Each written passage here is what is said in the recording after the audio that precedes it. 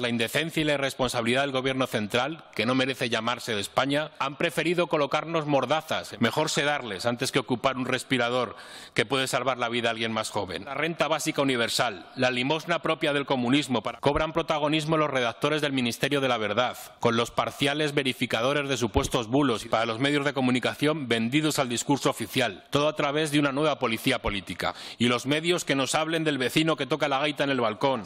Hace falta tener una altura de miras por parte de todos los ejecutivos, pero también por todas las clases políticas y creo que no es oportuno que determinados grupos incidan en cuestiones que no, que no proceden y, por lo tanto, quieran atizar a los diferentes ejecutivos con determinados bulos. Creo que también es bueno valorar eh, la labor que hacen desde el Departamento, la labor que hacen desde los diferentes ejecutivos de intentar destruir esos bulos y, por lo tanto, esos palos en las ruedas que me parece que es nefasto y lamentable y, por lo tanto, carece de altura de miras por determinados grupos políticos, por determinadas formaciones políticas. Me refiero ahora mismo a la ultraderecha más reaccionaria que, lamentablemente, también tenemos en este Parlamento.